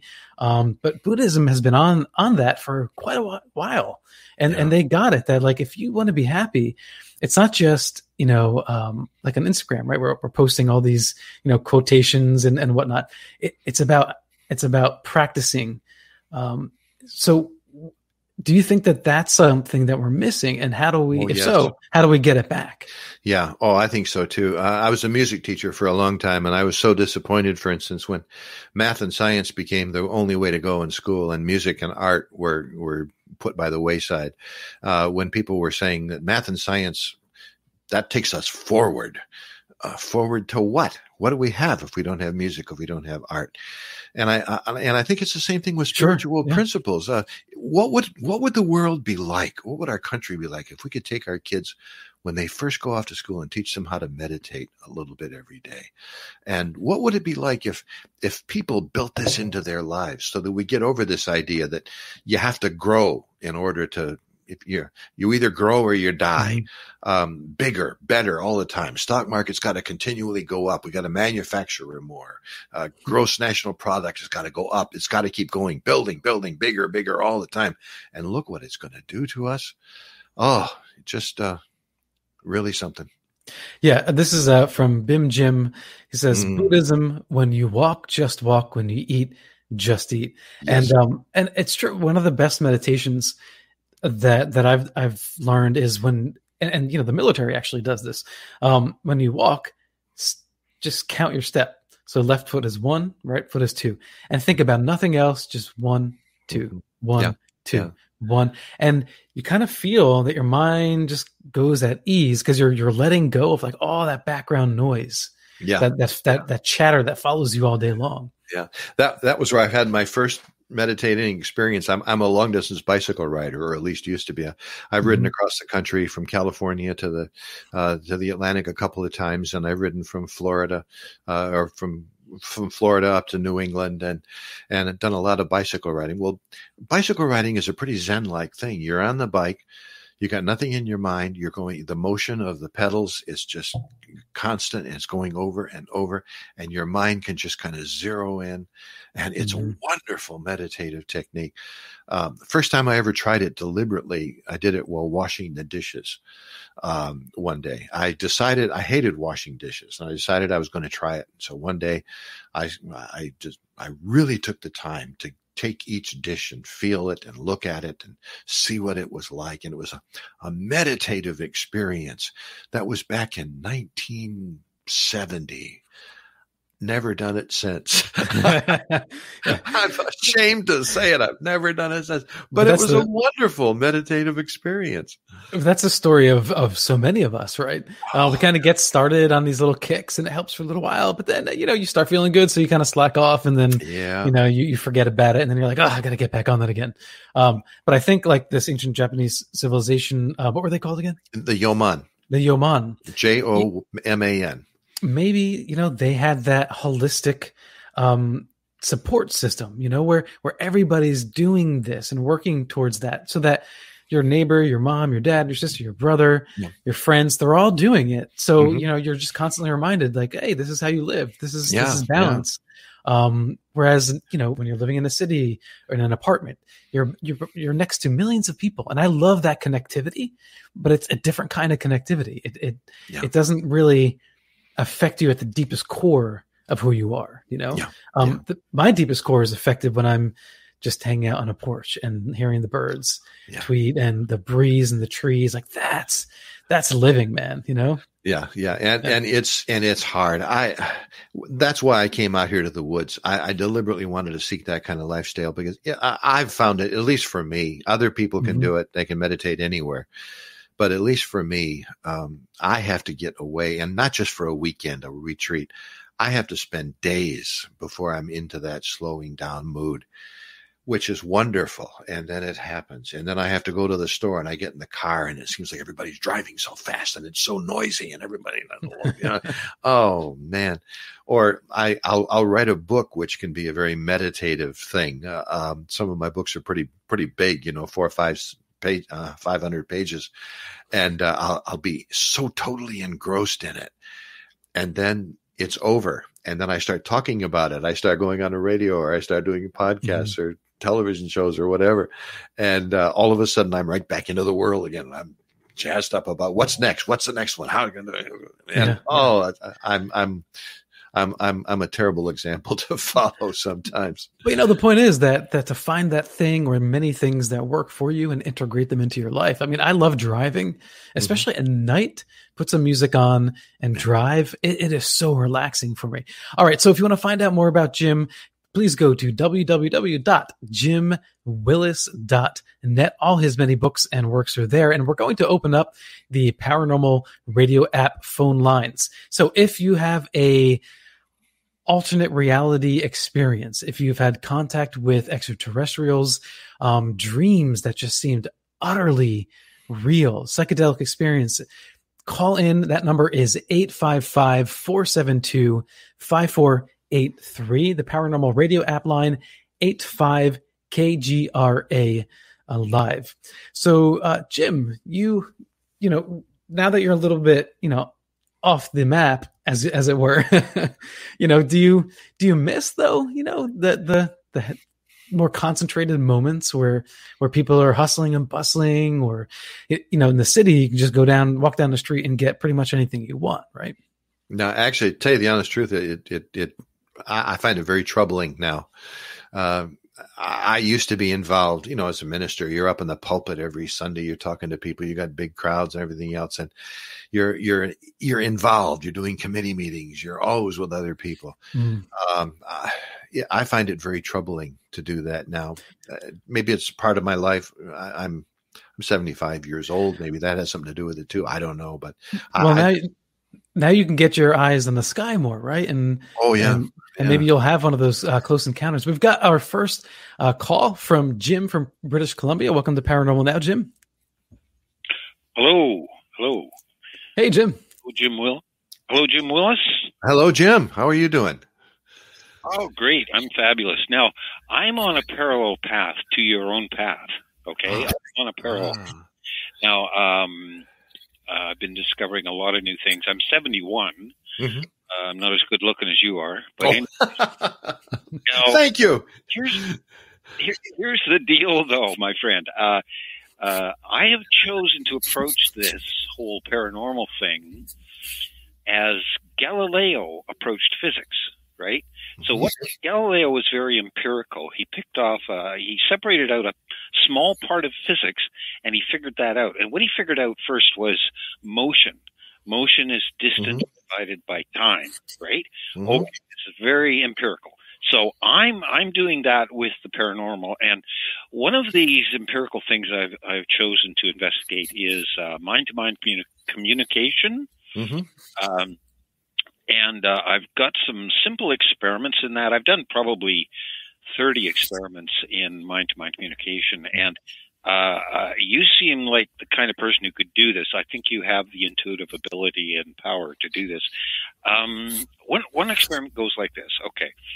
I sit down and relax and I, in a place where I can see groups of people walking around or like this was in the library foyer that I did this particular one.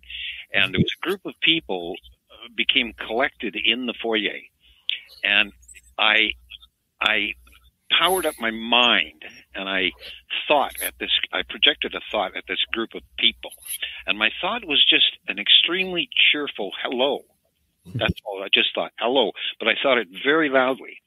And in this group stood up tall, spun around and looked directly into my eyes. Mm. This was a young woman who, a uh, tall young woman who had this ability, and she received my my uh, my message, my mind to mind communication, right? Now, you mm-hmm. could do this, uh, Jim Welch. You could do this, and I think you have that ability. Now, in some of my other ex- experiments, I got much better results. Like, I have a friend who I can communicate with, and uh, I taught her some things, and and we did some experiments, and and it's totally real, man, totally real. Now, also the indigenous people. Yeah use mind-to-mind communication. It, the, the the Inuit people uh, the what we used to call the Eskimos, uh, it was as if they had radio communication back and forth with each other in their long winters that went on for six months of dark, and they but they could communicate in their families. They could communicate back and forth. And and this was demonstrated. I, I read about this in a book written in the uh, 1930s and I, I recommend in uh, I recommend reading these old books because they're not yes. correct. They're truthful, and, and, they're the other truthful. So okay, now okay now uh, uh, you could do these experiments now, and anybody can try these experiments in mind-to-mind communication. I started out with the easiest one, which is uh, with wild animals. Mm-hmm. I do this with wild animals because you can see their change in behavior. It's very clear. However, if you try it with your pet animals, it, it's the the change is not so clear. So I recommend that people uh, try mind-to-mind c- communication with wild animals. Uh, I've done it with deer many, many times. Mhm. Well, Jim Jim Willis, have you had any kind of experience like this? Um, it's it's much more common in the old timers than we like to give it credit for. One of the purposes of a shaman, uh, one of the things the shaman did was actually what they called sing the animals in. They would communicate Mhm. with them, and the idea of uh, when you took an animal's life. You would then go and pray. You would actually be thanking the animal because the animal literally gave itself for you, for your Yeah. life. Uh, and it was it was very important. And i think there's solid physics behind this too. The whole idea of entanglement um, the idea that everything is connected uh, you can take a particle here and a particle there on the other side of the universe but if they were once entangled you put a clockwise spin on one and the other one automatically right away much faster than the speed of light instantaneously as a matter of fact goes into a, a, an, another spin in the other direction they are entangled. And I think all of us in this way are entangled. And sometimes, uh, Jim, I think you're absolutely onto something here. When when you see it demonstrated, uh, you all of a sudden realize it's not just a spiritual phenomenon; it, it is a physical phenomenon that we just are in the process of starting to understand. Uh, I, I, it's fantastic. I, I, I love that story. I really do. Yeah, Jim, thanks so much for the the call. I, yeah, I had a similar experience um, where I, affected a plant and the plant moved. It was very strange. So this was not human. This was not animal. Um, I was by myself, so I didn't have a witness, but I saw this happen, and it you know kind of freaked me out. Yeah. One one of the things I love to do when people come here to the house and I'm teaching them how to uh, start dowsing, um, we'll go to a tree, for instance, and we'll dowse the aura of a tree. It usually comes out a, a small little tree. Sometimes it comes out maybe six, eight feet, something like that. And uh, you you can dowse it, and the, and when you walk toward the tree, you can when when you hit the aura of the tree, the dowsing rods in your hands will cross. Then you go up to that tree, and I've demonstrated this. As a matter of fact, you can see it demonstrated uh, on my YouTube channel. Um, uh, my daughter and I have put out two channel, two YouTubes so far, uh, part one and part two on on dowsing for Earth energy, and we illustrate this on the second uh, dowsing video. You go up to the tree and you actually hug the tree. You let it know that you care about it. You you and you know and and and make a, a, a, a contact with it, touching it, putting it right to your forehead. Then you go back again and you dowse the aura of that tree again, and you'll find sometimes that that aura has moved out 15 feet or so. Uh, the tree has responded to you in a very real way, a psychic way. And I, ever since I saw that, I have no doubt that when some people talk about you have green thumbs or sing to your plants, uh, or some people can, can, you know, do all kinds of wonderful things with plants and everything else. I'm absolutely convinced it's true. I, I, I, th- I think it's at the basis of what we call prayer in Christianity and other religions. When you get a number of people together focused, I don't think we're necessarily sending prayers up to a God who then decides whether to answer them or not. I think what we're doing is focusing our psychic energy and and and putting it toward a particular target. And uh, often you just see tremendous things happen. Yeah jim, thanks so much for the call. I appreciate it. Thank you, thank you, Jim. That's great. All right, so we're going to bring on Ron from Minnesota. Ron, you're on Paranormal Now. Ron, are you there? Hey, Alan. Hey, yeah. Hey, how are you, Ron? I was, I was listening to YouTube, listening to YouTube, so it kind of got crossed over there. I'm here. I'm here. Um, thank you for the show tonight, Alan and, and Jim Willis. Uh, uh, great, great, uh, great talk, and uh, Thank you, Ron. Thank you very much. I agree with the hundred percent of what you're saying. I've experienced some some uh, astral traveling, if you will. Hmm Um, I've gone to other other worlds. I again, that's I don't know how to explain it. Yep. I can Yep. just, just tell you I've been there. Yeah, Um, I, Uh, other places here on Earth that I don't understand. Uh, in my dreams or in my traveling, I can actually feel things that I have in my hand, like say a, a, a glass, for instance. If I pick up a glass in a dream, I'm actually holding the glass. Mhm. Okay. So I'm physically there and in my mind, I'm, I'm really there in real time and everything. Yeah. Um, when I get back a lot of times from these trips, I'm usually sore, like I've been digging a ditch all night, you know? Yeah, yeah. Uh, I've had that. I've had that experience, and I can't figure out why. But um, a a thing that I've been working on, I've been working on doing the uh, fine tuning the astral traveling and visiting uh, uh, friends' house and things like that. But I've been trying to work on fine tuning it because I have I have spirits in my house. Mhm. Okay, I, you might think, how do I know that? Well, I know that because I've seen them. okay, not not so much an apparition, but I've seen evidence of spiritual activity in my house. Okay, Yeah, yeah. now I, I've I've seen a ten year old boy that runs around, plays, you know, taps me on my shoulder, and I look and he's not, not there, but I know someone's there. You know, Mhm. um, I I've, I've seen a boy peek around the corner of the doorway. You know, I don't have I don't, I don't have a child. I haven't, haven't had any children, so no, nothing from me.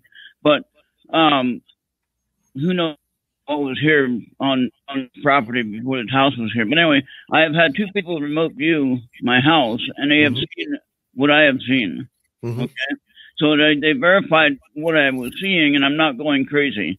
No, And no, I, so my, my goal with the astral traveling is that I can get into that meditative state and that level, and I can actually communicate with them and find out what's going on. Now, there was one, I, I had one other woman that was here that actually went, crossed over finally.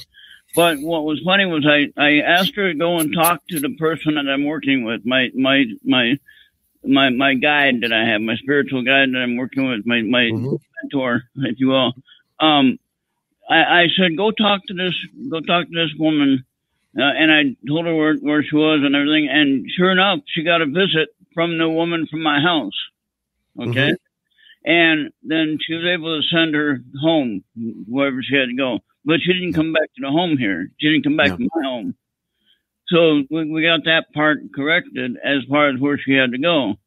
That's so good. there's some other people that are here, whether they're here because they're trapped here or they're here just because they're having fun. I don't know what the deal is.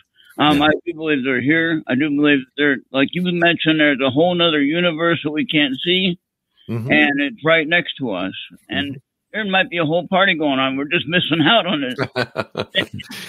yeah, uh, Ron, I have no doubt that uh, what you say is is is absolute fact. I I've had four experiences myself of actually being able to uh, find someone who had died and uh, were confused.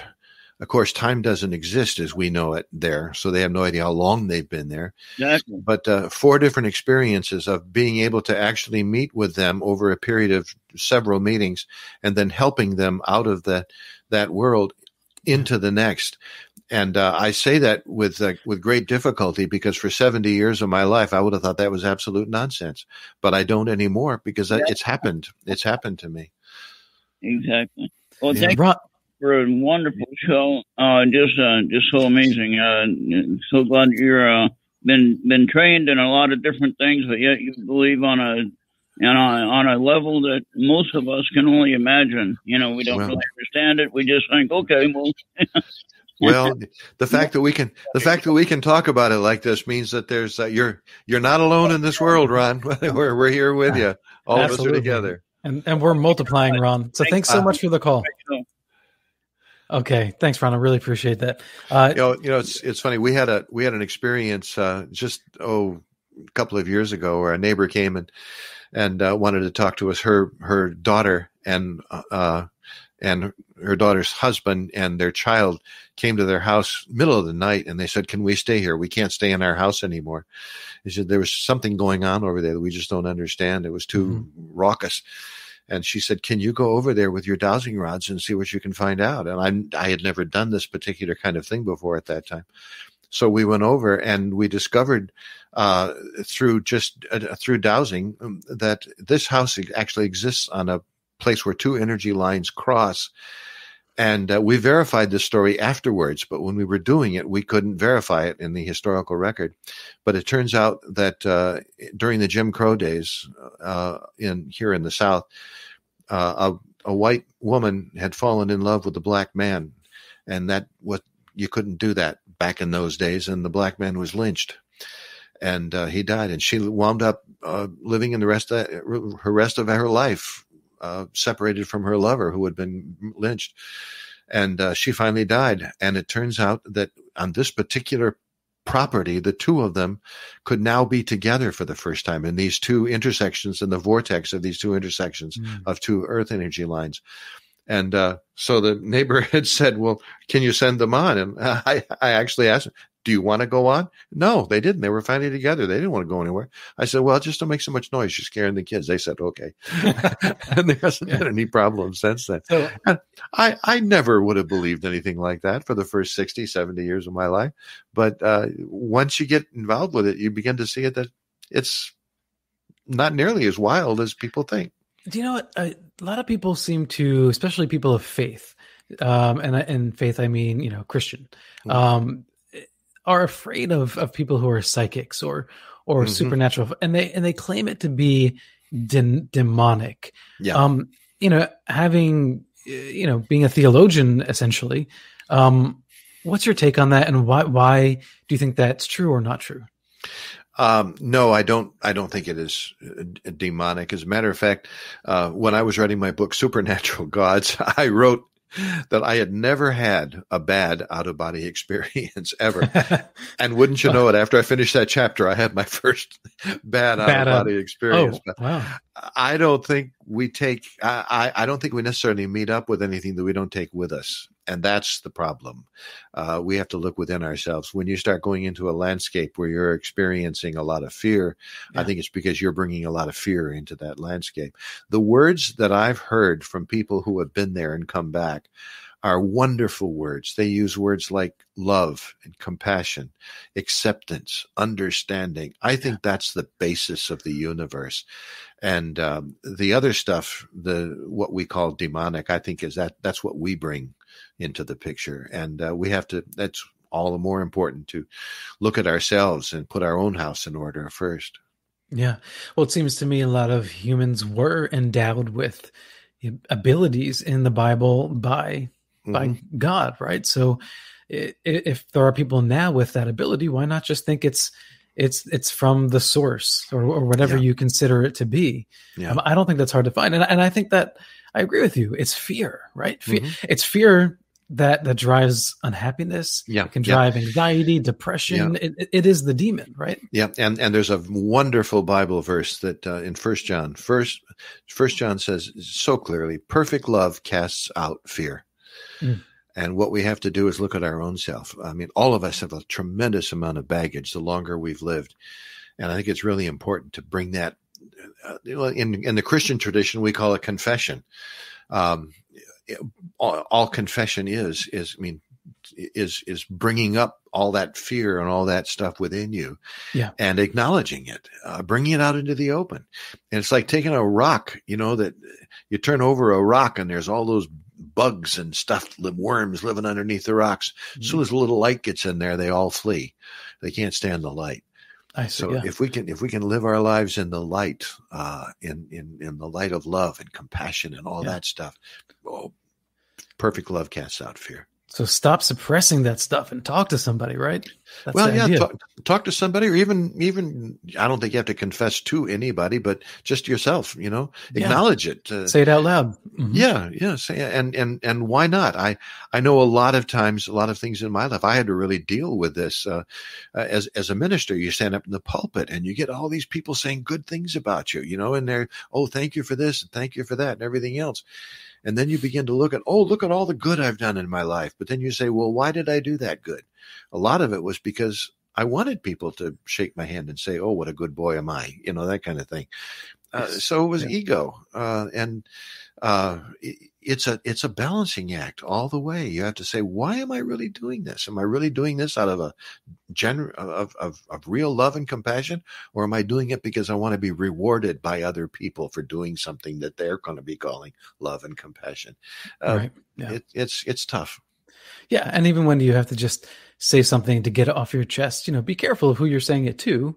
Sure. Um, but like you said, either say it to to your higher power or to yourself or to someone that, that you trust but it, that is important it's and and that love thing right it's it's universal so yeah. it's it's loving yourself and loving others you know it's yeah. that it's that big love as it were um, yeah. i have uh, i have to get this in this is from kathleen i had a dream of aliens trying to take me uh, there were five of them and i had beat them up uh, and and said you are not taking me mm-hmm.